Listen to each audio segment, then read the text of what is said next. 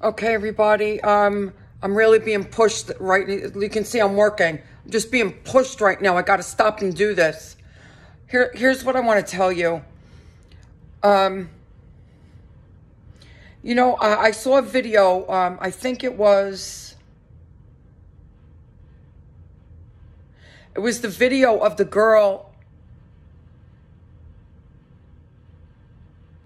It was the video of that girl that um, that had the German blood sacrifice curse on her. That she said she went to the Christian church and they didn't help her. Um, and something that, that was that has been haunting me. Bob Larson said to her, Well, you were a Christian, you knew Jesus Christ, you knew about Jesus Christ. How did you ever get in such a situation like this? And um, this is what this is what I'm being pushed to talk about here. Because I, I think this would be helpful for pastors out here to understand this and for um, demon slayers to understand this and for Christians to have some compassion for people out here who have found themselves in this predicament like I found myself. Um, number one, most people uh, don't have an intact family support system. That's the biggest problem. That's the biggest problem. There's no intact family support system. A lot of these people have been abused. So there's very, very low self esteem. There's magical thinking. Um, wanting to belong, wanting to belong. And you have to understand that these cults have uh, good mouthpieces. They have good mouthpieces out here talking to the public. Um, I, I, can tell you that for me, anyways, as I as I said several times, and here's what you really need to understand: the people that at least I was exposed to, and not only who I was exposed to in Hinduism, but also that tarot demon. She has said it over and over out here. And you've seen her say it the other day that um, Kundalini is just energy. It's not a demon. They will never speak about demons. None of them. None of them will speak about demons. And as a matter of fact, I can remember thinking when I first started following Nithyananda that I was more relaxed following him because the mystics talked about demons a lot because they were witches. They were into all these spells and stuff. I was never into any of that. And um, I was truly wanting to be in oneness with God. And actually, when Nithyananda was uh, putting us through initiations, he was literally saying that it was God that was manifesting through this form. Never talked about demons. So this is this is the hook. This is how Christians get hooked hooked. And I was I really hope that everybody out here can fully understand this. They never talk about demons. I, I can also remember a few people asking Nithyananda and even asking the tarot demon why Kali has such a mean face or why were they blue? Um, even uh, why does he have such a mean face? And all we were ever told, like for Kali, it was Kali is um, trying to break away your ego, um, trying to uh, um, break you out of the lies, break you out of the uh, delusion.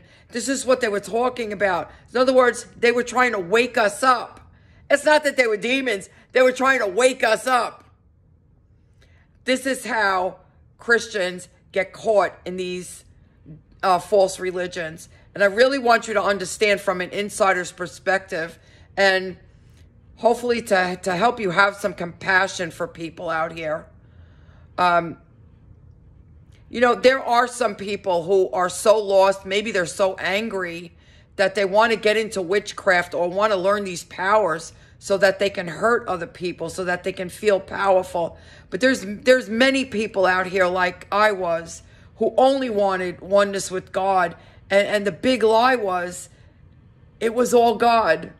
It was all God. As a matter of fact, when I started following Nithyananda, he said there was something like over 300,000 Hindu gods, and they all represented an aspect of the psychological mind. That's what he said. So for me, as I as I heard many other people saying that Hinduism was mythology, and so all those 30, 300,000 gods represented an aspect of the psychological mind.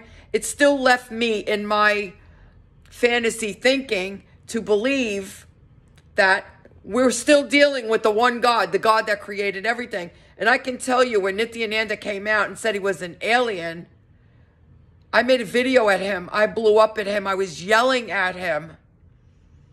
I don't want to be no bride to no alien. I wanted to be in oneness with the God, the creator of the whole everything. That's what I wanted. I don't want to be no bride to no alien. And I was furious with him. He lied to everybody. So you have to also understand there is a natural hatred for Christians and there is a natural hatred for the West. Uh, they get uh, great delight when they suck Christians from the West in, especially when they get their whole entire family fortune. They just absolutely love that. So as far as the people being sucked in, there's um they're they're come from a they're coming from a place of lack, of course. They're looking for family, they're looking for love, they're looking for God, and uh, these people have the gift of gab. That's all I can say. They know exactly what to say. The other thing I want you to understand is that Christians and people from the West do not fully understand the extent of the powers that these people have. They're extremely powerful.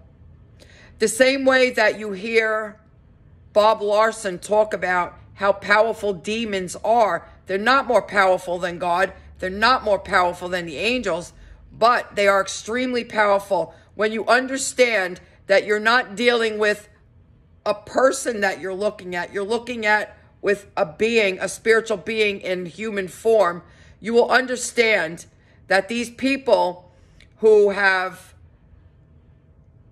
practiced these uh, these powers, the occult, and well, Nithyananda has absolutely allowed the demons to fully take him over. He is extremely powerful. His powers are extremely powerful. Now, he does, of course, the remote vision, um, telepathy because he connects to these beings that are here. And I want you to understand most of the teaching out here that I've seen by the demon slayers are saying that um, these demons come from a family curse. And, and I agree with that. I've broken all of these curses multiple times already just to be on the safe side. But I can tell you with 100% certainty this being that's here that took over my form was sent by Nithyananda. This is how powerful he is. And this is what I've had to fight off for the past two and a half years. So I have learned to go deep into the Holy Spirit and I have learned to call on the angels.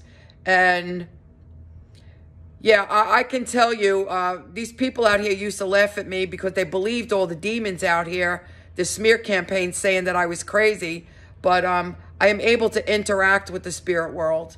And that is really all I can tell you. There is no more fantasy world going on here. So I am I am truly able to interact with the fantasy world. Um, right now, I feel this this being that's inside of me. There are also two beings down by my feet, on my ankles. There there used to be one being, or it could have been two other beings one used to, it's all on the right side of my body too. Used to give me a calf massage on my leg, a calf massage. And the other one would do a foot massage on the right leg. Now, these beings are holding each ankle like I'm being chained, like I can't go anywhere. Uh, they're sadly mistaken. They're really sadly mistaken. But this is what I'm experiencing now. Not only is this being in my form, and it's attacking me. It's both hurting me. Here, let me tell you what, what it did yesterday. When it was hurting me, it was hurting me in the genital area. It goes right for the genital area. When it started hurting me was when I finally uploaded God's promises. It hurt me for hours yesterday, for hours. Then when I exploded at the Nithyananda goons and said those horrible things to them, this thing started sexually attacking me to make it feel good. It liked that I exploded that way. So this is what I'm saying. The manipulation, this is a this is a live being here. The, people don't really understand this that that can't interact with the spirit world. These are live beings here. This thing interacts in real time. In real time. That's what I'm telling you guys. So, those that have been on my page this whole time understand that uh, I'm a straight shooter and I don't pull any punches and I say exactly what's on my mind. And uh, people will either like me for being straightforward and honest or they will not like me because I am too straightforward and honest for them. Um, the only thing I'm, I'm going to say right now is I have been uh, given instructions on what I need to do out here. And uh, as far as I'm concerned, having dealt with all these spirits and this stalking by this cult, that I, I thought I was getting into a, a, a spiritual place where I could finally fit in and everyone was wanting to be one with God. And finally, I was going to have a family. Um, this is the type of person that gets sucked into these cults. Okay. So the more I started waking up and not living in a fantasy world and not believing the lies that the leader was saying anymore, the more they all started attacking me. This is what happens. So I want you to understand where I'm coming from, that I will not pull any punches because I feel this is this is your life at stake here. I have been tortured by these demons here, and nobody out there would help me. Um, as of right now, they're plotting and planning how to stop me from speaking to Bob Larson on the computer to, to get an exorcism on the computer. As a matter of fact, Isaiah was going to do one the other night and I was online. I was I was waiting for him to come on because I was going to try to go to the Zoom. And then voila, Isaiah's system didn't work anymore. I firmly believe it was Nithyananda's goons who attacked him so that I couldn't go. This is what they're doing. They don't want these demons out of me. This is what they're doing. So for me, this is your life at stake here, and I will not pull any punches. And if it's that tarot demon that's out here spreading lies to, to bring you in, to have you have to go through this, uh, I'm going to call her out in a heartbeat. I, I always have, and I always will. You know, I watched a video by John Ramirez. If you don't know who he is, he's an ex Satanist who has now given his entire life over to Jesus Christ and he is out there yelling from the rooftops about what these demons do, how they're astral projecting into your into your house, moving your stuff around, trying to make you think you're crazy. Um, these people have serious powers, and if you don't know how to protect yourself, you're you're caught off guard, and you have no choice. You're you're either going to fall apart, kill yourself, or you're just going to give in to their demands. You've got to know how to protect yourself, and you've got to know what to do. And um, I agree 100% with John Ramirez. We are in spiritual warfare. I'm not out here to be uh, politically correct or even socially correct. I don't care about any of it. The only thing I care about is saving people's lives. Because this is not only about your spiritual life, uh, this is about the quality of life that you will have now if you are infested with these demons and having people calling you crazy when they are the ones responsible for bringing these demons into you. And no, I'm very sorry. It's not all about generational curses. This is this is the uh, lack of understanding of people who have never studied the occult. It's a lack of understanding on their part. It's not people out here putting the blame on somebody else because they don't want to take responsibility for what they've done. Yes, in ignorance, they trusted these people, but these people, in fact, who are calling themselves gurus, they know exactly what they're doing and they know exactly how they're lying to people out here. Innocent people who don't know any better. They are, in fact, calling these demons into these people. They are giving people kriyas and pranayamas to do, which are calling these demons in. So, no, people are not out here making excuses. This is a real thing that people who have not been on the inside of the occult, they don't understand. So, that's an aspect. that's an aspect. Generational curses and all the other curses that we all should be breaking. But if you have been involved in the occult, no matter what your reason for being there was, uh, I could I could be standing right next to somebody who who went into the occult because they wanted power and they wanted to learn all these powers so that they can hurt people out here. And here I am wanting to be in oneness with God, but I still got cursed with the same demons. It doesn't matter why you got pulled in.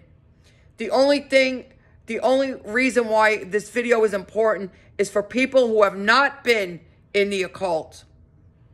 I don't know anything about witchcraft, so I don't know how people get started in witchcraft.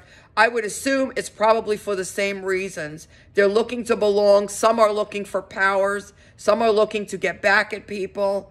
Um, that was never my thing. And uh, trust me, I had plenty of issues that I had to work through. I had plenty of issues I had to work through. But having powers to hurt people was never one of them. I was constantly looking to get in oneness with God. And I still wound up in this place, still knowing Jesus Christ. And um, this is this is why, you know, society as a whole, uh, it, it, it's it's not one one aspect of society that literally defines a society. Every single it's it's a, it's a part of the systems theory. That's what I want to say. You know, we're all a little part of the entire system. So, uh, you know, yeah, there's there's um, what what kind of family system did you come from? Were you severely abused? Did you not feel like you had a family? And then did you go to church and and you had this church that wasn't teaching you about demons, wasn't teaching you about this spiritual warfare that you needed to know about. I was like an ignorant, ignorant, ignorant person. I can't believe how ignorant I was. That when I when I came back to Christianity and started reading the Bible again, it really slapped me across the face how little I knew about my own religion. It really slapped me across the face. This is why I'm pushing it now, because that was my biggest downfall, that I never read the Bible. But from a child, I never had the support to read the Bible. I even went to Catholic school. It was never enforced to read the Bible. Even going to church, it was never enforced to read the Bible. There was even a priest that said, don't worry about what's in the Bible. You only need to listen to what we tell you. So this is the stuff, the garbage that's going on out there in society. So it doesn't help to to to say anything that that how people got in this place that that they're making excuses or um, to to look at them and say, "Well, you knew Jesus. How did this happen to you?" You have to understand. This is why I said uh, last week or the week before the, the day I made that Todd White video, there are people suffering out here that we just have no clue about it. We just have no clue about it. You see, my my thing out here now is since I have experienced this and I am now interacting with the spirit world that people need to understand that this is real and uh, understand that this whole time that I've been on this path, I have been getting messages from the spirit world that have been healing me and propelling me forward out of the sleep. So I know exactly who is giving me my messages and it has always led me in a positive way after I after I turned away from that uh, that Hindu guru. I did nothing but wake up. I did nothing but wake up so that's all. That's what I want to tell you. Um, I, I no longer live in fantasy world, so I don't make up stories that oh angels came to visit me. No, there there is um, a, a, a brain state that you get into that you're in uh, full consciousness, and this is where the messages come from, and it usually happens right when you're coming out of deep sleep and just before you're waking up, before you come into the awakened state. It's right in that spot where everything is still. That's where I, oh, I've always gotten my messages. Now, whether that's listed in the Bible that we get our messages that way, I don't know. I haven't come across it. Not everything that has ever happened is listed in the Bible. I will say that. But This is, in fact, what has happened to me. And the only gauge that I have is that it has propelled me forward in a positive way, that I have woken up, I am out of the sleep, and I still have a further learning to do on. I don't go chasing these spirits. I never have. I never have. And um, I stopped. I stopped uh, doing anything with these powers at least four or five years ago. So uh, the only thing that I could say is I have been clairsentient, meaning I have sensed the presence of energy around me. It, it, didn't matter if it was human, if if if a person was standing next to me and they were in a bad mood, or they could have had a demon associated with them. Um, I would feel their negative energy. This has been happening to me since I was a child. So way, way, and that, I, like I said, I went to Catholic school at that point, but I have been infested with demons since I, I'm imagining since I was in the womb. So uh, I don't know what this is, but the only thing that I can say when it has a positive effect on my life, I credit God with that. I credit God with that. So when I had that outburst last night, I automatically credit that as a manifestation of a demon.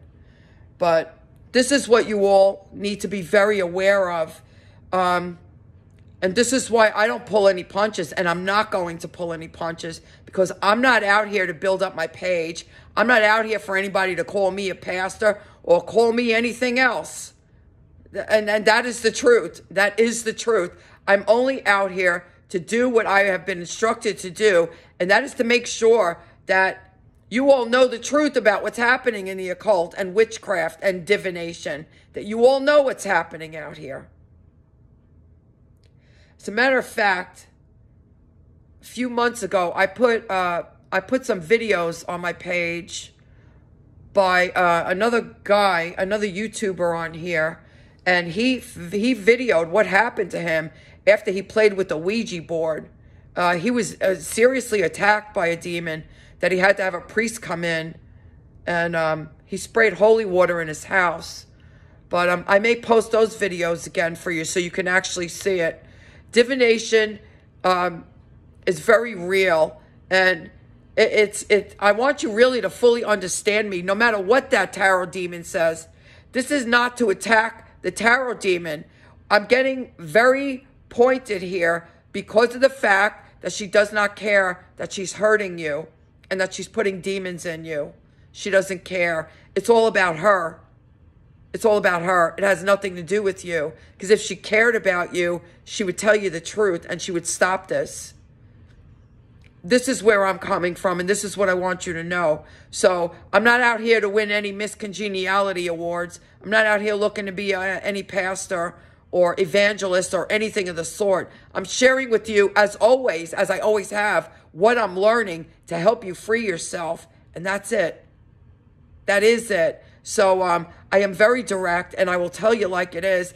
And for me, I have never been more passionate about anything before than this because having these demons here, um, it has been torture for me.